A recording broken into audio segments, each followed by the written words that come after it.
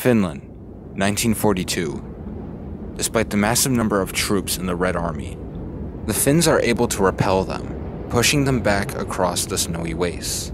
The untrained Russian troops suffered casualties due to the Finnish sniping campaign, but most died from the cold.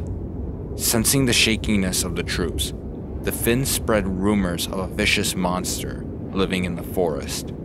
Concentrating on more effective conventional warfare, the Finns eventually forgot about the rumors.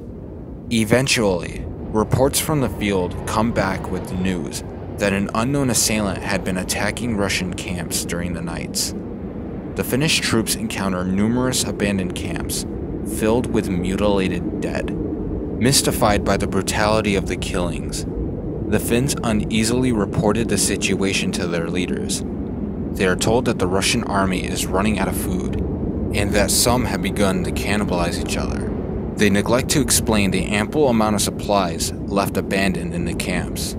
The photograph above depicts the skin of a Russian soldier as found by the Finnish troops.